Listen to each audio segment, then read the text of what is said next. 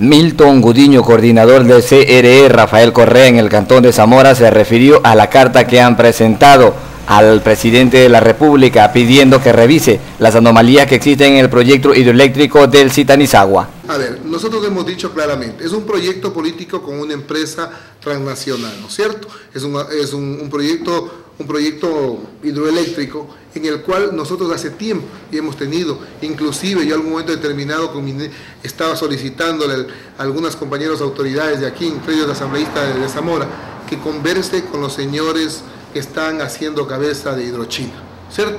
Para que den un trato adecuado. A decir de Milton, en la provincia de Zamora Chinchipe no se permitirá que se violente el derecho de las personas y que se estará haciendo todo lo posible para que se actúe de la manera adecuada. Aquí nosotros vamos a permitir que violenten los derechos de, las personas, jamás.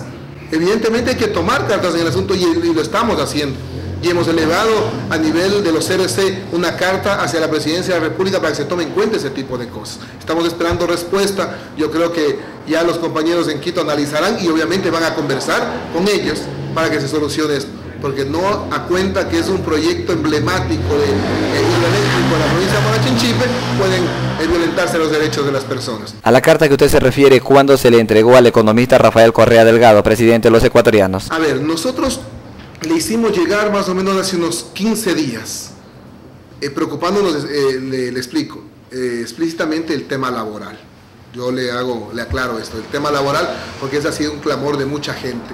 Muchas personas nos vienen y nos dicen, y vienen acá, inclusive tenemos compañeros aquí, en el CRC y en algunos CRC, que son trabajadores de Hirochina, por ejemplo. Para el informativo Visión, reporta Jonathan Samaniego.